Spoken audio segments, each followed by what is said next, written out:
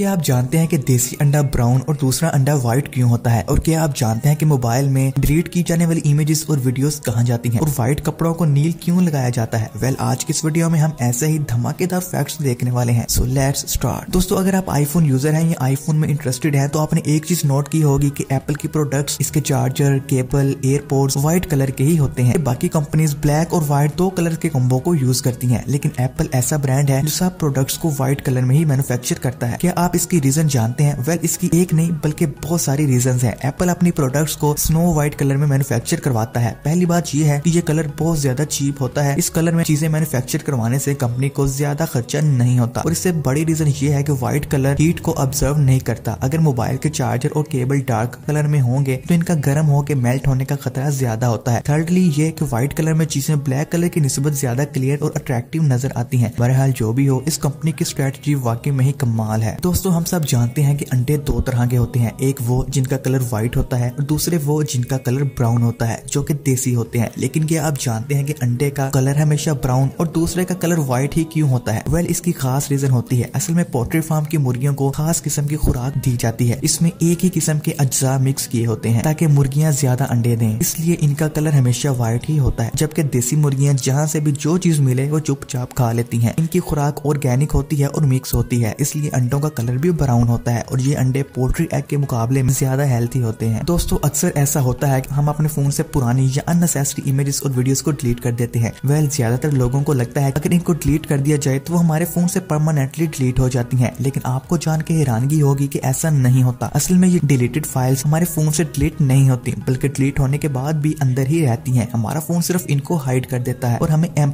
space show करवा देता है जब हम अपने फोन में कोई न्यू डाटा लेते हैं तो वो इस छुपी हुई चीज को उसके साथ रिप्लेस कर देता है एक्चुअली हमारे फोन में सारा डाटा कोड्स की सूरत में सेव होता है और जब हम किसी कोड को डिलीट करते हैं तो वो रिमूव नहीं होता बल्कि इसके ऊपर नया दूसरा कोड आ जाता है और इस तरह पुराना कोड नए कोड के नीचे चला जाता है लेकिन अब तो ऐसे इतने सॉफ्टवेयर मार्केट में इंट्रोड्यूस करवा दिए गए हैं जिनसे रिलेटेड फाइल्स को भी इजिली रिस्टोर किया जा सकता है दोस्तों हमारे यहाँ घरों में व्हाइट कपड़ों को धोने के बाद नील लगाया जाता है खासकर बच्चों का यूनिफॉर्म बगैर नील के धुल ही नहीं सकते वेल ये तो हम सबको पता है की कपड़ों ऐसी लाड़ खत्म करने के लिए इनको नील लगाया जाता जाता है लेकिन क्या आपको पता है कि नील कपड़े की प्लाट को कैसे खत्म करता है वेल असल में जब किसी व्हाइट कपड़े को नील लगता है तो वो कपड़े नील के ब्लू कलर को ऑब्जर्व कर लेते हैं और इसके सफेद रंग में हल्की सी नीलाहट शामिल हो जाती है इस तरह ये नीला रंग कपड़े की पिलाहट को छुपा लेता है और सफेद कपड़े में चमक आ जाती है वेल सफेद कपड़ों को सफेद रखने के लिए इससे अच्छा तरीका और कोई भी नहीं हो सकता